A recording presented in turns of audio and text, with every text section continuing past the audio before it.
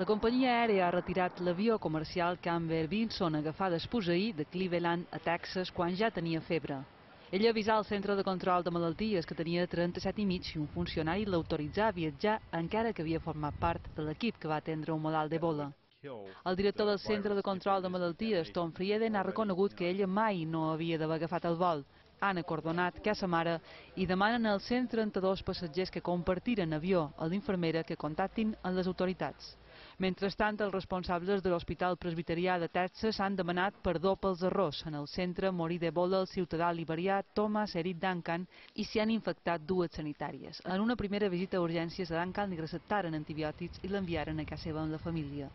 Les autoritats han traslladat la segona infermera contagiada del país, Amber Vinson, des de l'Hospital de Texas a un centre de màxim nivell d'Atlanta amb l'ajuda de l'exèrcit i la policia. A més, la Casa Blanca ha abratat l'agenda del president. Obama ha parlat amb líders europeus per videoconferència i ha creat un gabinet de crisi. El president vol una resposta més agressiva al virus i confia en l'exèrcit d'elit per fer complir els protocols. Tan aviat com qualcú sigui diagnosticat d'Ebola, volem una resposta del SWAT sobre el terreny. Preferiblement en 24 hores han de ser a l'hospital i seguir tot passa a passa per comprovar que les coses es fan com toca. Obama vol atacar el problema d'arrel i ajudar els països africans on l'Ebola fa maig. Des de l'oposició republicana reclamen que es prohibeixin els vols als Estats Units procedents de països afectats per l'epidèmia.